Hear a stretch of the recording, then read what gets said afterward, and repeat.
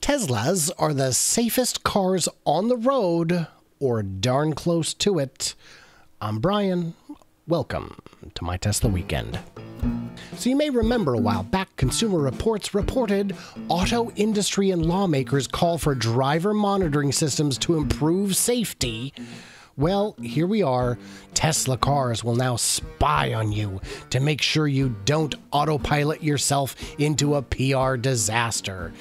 Yeah, they uh, turned on some safety measures. Apparently, now you have to be awake and in the driver's seat to operate a Tesla.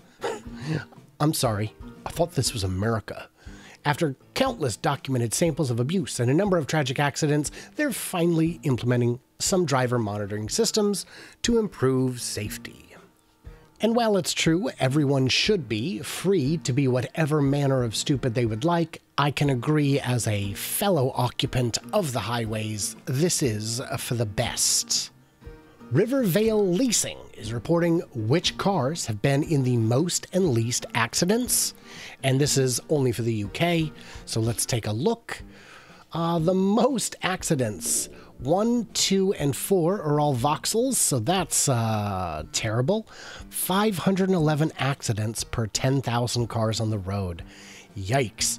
Well, uh, by brand, Vauxhall, Renault, Peugeot, Ford, Toyota, Mercedes.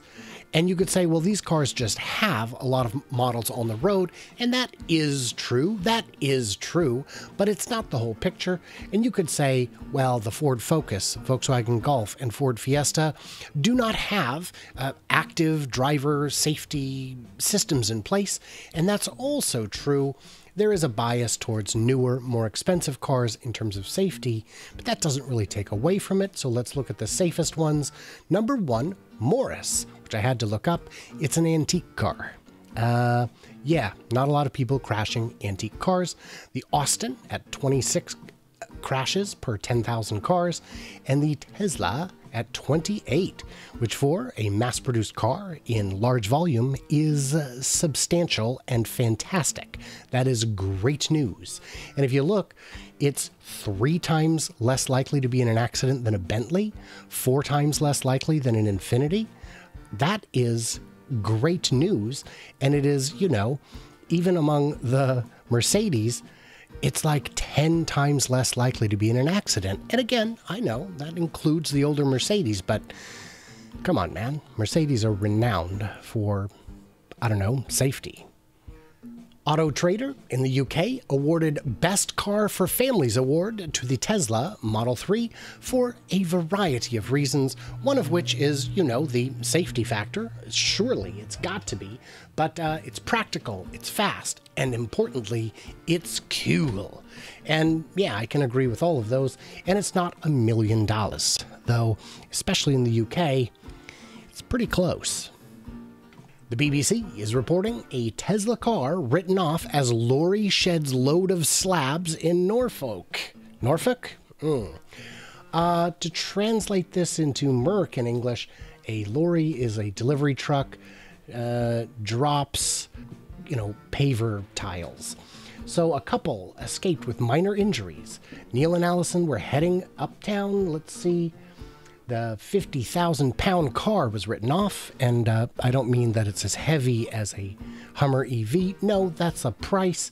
With minor bruises, he said it hit with such force that the suspension broke, the windscreen and the glass roof shattered, but mostly those held up. It's a terrific car. I think the engineers who designed it saved our lives. Tesla owner apologizes for staging brake failure incident in China. Yeah, it turns out uh, that whole China thing, not so real after all. Um, when pressed, the lady who climbed up on the hood and made a scene at the auto show wasn't real, was not real. It was nonsense. And you know what? I am I am just sure that the media will turn right around and report this with the same furor they did that nonsense story, except of course they will not. Attempted murder charges filed against Anaheim man suspected in BB gun freeway shootings. Yeah, there was a rash of shootings. And how did they catch this guy who was blowing out windows on the freeway. Well, it turns out uh, it was captured on a Tesla cam. The surrounding cameras got him. So, while this is an indirect safety issue, it's definitely a safety issue, and I'll count it. So, off safety, I've got a couple legal things that we got to talk about. Support Tesla and EVs in Delaware. The Tesla policy team sent out this notice. Uh, there's an intent to deny Tesla's application for a sales license to open a sales and service location in Delaware. Come on, guys, can we get past this yet? This is ridiculous. I know the dealers have a franchise model that's got you by the knackers, but we got to get past it. So if you're in Delaware, maybe reach out to your legislators and tell them how's you feels.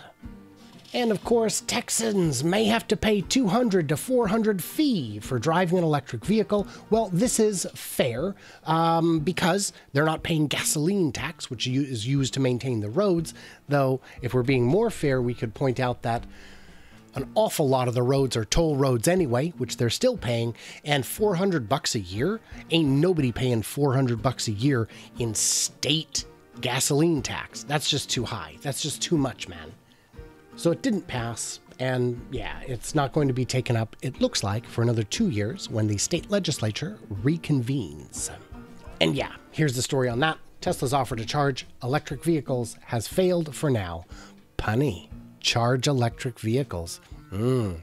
So clever, it almost makes the headline not make sense.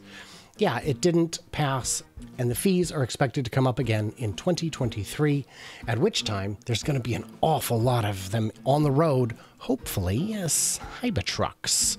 So, guys, what did I miss or misunderstand? Leave me one tasty platter of comments in the comments below. Yeah, I could have said that better, but I got work to do, so let's keep moving. Stay tuned, uh, stay juicy, and I cannot wait to hear from you clever robots on the flippity flop.